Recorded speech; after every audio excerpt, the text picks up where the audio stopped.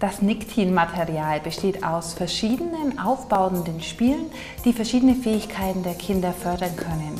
Hier haben wir zum Beispiel ähm, das Spiel Musterwürfel, mit dem das Konzentrationsvermögen und auch die Kreativität der Kinder gefördert wird.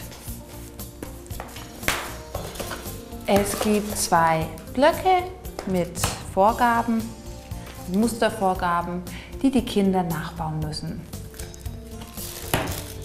Dazu gibt es hier 16 Würfel mit unterschiedlichen Seiten. Ich zeige Ihnen jetzt einfach ein Beispiel. Die ähm, Hefte sind nach Schwierigkeitsgraden unterteilt. Das Heft 1 ist einfacher. Im Heft 2 geht es dann um ähm, zum Beispiel um das Nachstellen von Zahlen oder Buchstaben. Das ist etwas schwieriger. Fangen wir jetzt doch mal mit dem Heft 1 an und versuchen dieses Muster hier mit den Würfeln nachzubauen.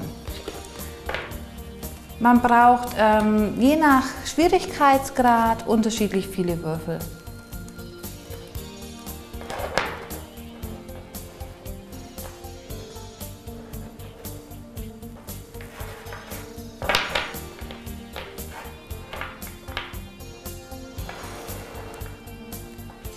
Und schon haben wir das Muster nachgebaut.